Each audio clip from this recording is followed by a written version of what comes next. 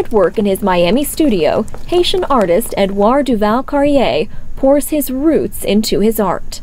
What I tried my work is to show that Haiti is a very complex place, has a very uh, convoluted history, interesting history that's worth looking at, that's worth studying. For more than 30 years, Duval Carrié has focused on Haitian themes.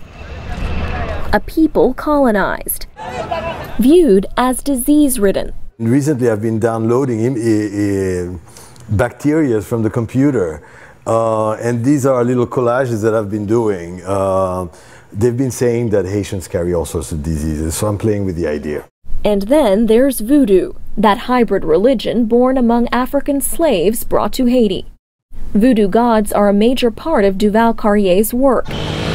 And many Haitians' lives, he says, despite others' negative views of the religion. They've constructed that religion as something completely off the wall, but it's not.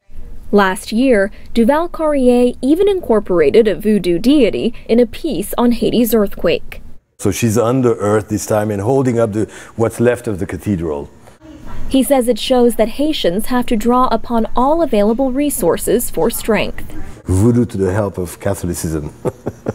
uh-huh. Bernice Steinbaum owns a gallery featuring several of Duval Carrié's works.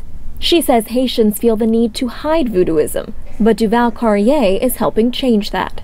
He has given faces to the voodoo gods. Heretofore, we would read about them and we would talk about them, but we never could picture their faces. And back at his studio in the heart of Miami's Little Haiti neighborhood, Duval Carrié's other contributions are visible. He co founded the Haitian Cultural Arts Alliance to support Haitian art and culture. Organizing uh, uh, cultural events, I mean, that's my passion. And uh, as soon as we got here, we founded the Haitian Cultural Arts Alliance. And we've been in existence practically as long as I've been here. Duval Carrié says he hopes people will continue to pay attention to Haiti beyond the catastrophes it has suffered. It really didn't have to take, you know, like 300,000 deaths, you know, like for everybody to focus their lights on Haiti. And as long as he's producing art, it will be hard not to take notice. Alex Villarreal, VOA News, Miami.